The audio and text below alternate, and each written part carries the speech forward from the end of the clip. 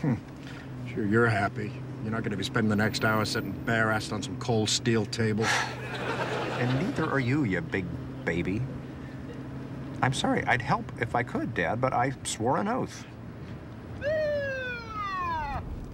Oh, what this is about.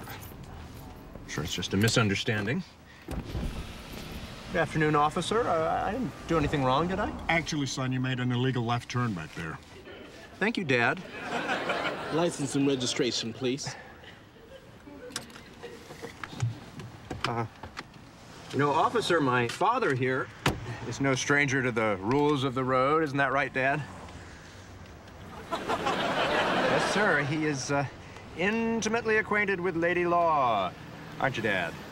Just a concerned citizen. I'll be right back.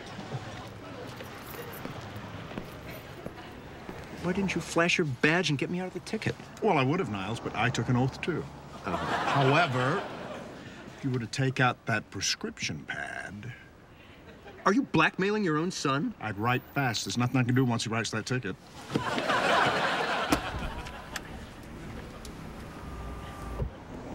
Officer,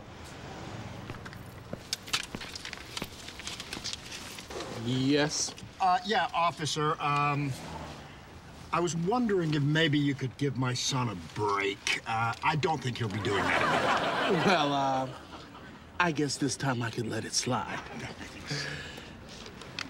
Drive carefully. Oh, I will. Thank you, sir.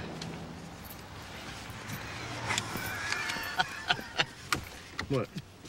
I got news for you. You didn't make an illegal left turn. That's a buddy of mine. I set the whole thing up to get you to write me my prescription. I got news for you. I just drew you a picture of a dog.